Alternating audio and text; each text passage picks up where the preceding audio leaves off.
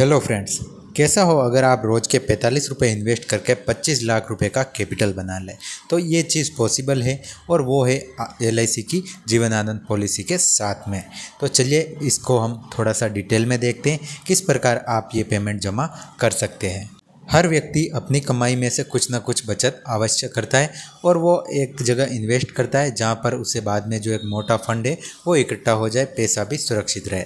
इस मामले में देश की सबसे बड़ी बीमा कंपनी एलआईसी की सेविंग स्कीम्स और रिटर्न दोनों ही सबसे ज़्यादा पॉपुलर है। इसके अलावा इसमें जो आप देखें तो इसमें रिटर्न की जो गारंटी है, वो भी मिलती है और आपका जो पैसा है, वो भी सेफ़ रहता है। तो इसके अंदर कई तरह की पॉलिसी उपलब्ध है। उनमें से एक पॉलिसी है, जिसका नाम है जीवन आनंद पॉलिसी। उसमें आप ये काम कर सकते हैं। तो सबसे पहले जानते हैं कि आखिर इस पॉलिसी में क्या क्या आपको मिलता है।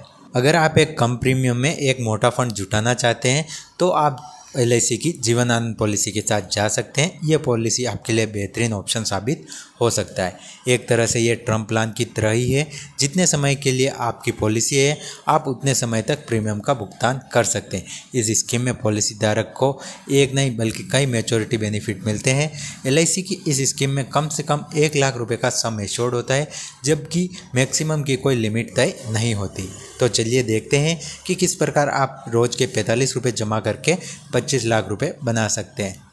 एलआईसी जीवन आनंद पॉलिसी में आप करीब तेरह सौ अट्ठावन रुपये हर महीने जमा करके 25 लाख रुपए का फंड जमा कर सकते हैं। इसे प्रतिदिन के हिसाब से देखें तो आपको पैंतालीस रुपये हर रोज़ बचाने होंगे। ये सेविंग आपको लॉन्ग टर्म के लिए करनी होगी।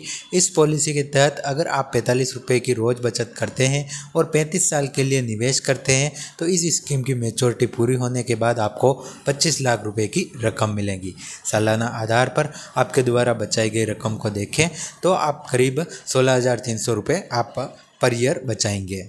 इस पॉलिसी में आपको डबल बोनस से ज़्यादा फ़ायदा होता है। हर साल आप सोलह हज़ार तीन सौ रुपये का निवेश आप एलआईसी जीवन आनंद में साल के लिए करते हैं तो कुल मिलाकर आपकी पाँच लाख सत्तर हज़ार पाँच सौ रुपये होगी, जो जमा राशि होगी वो।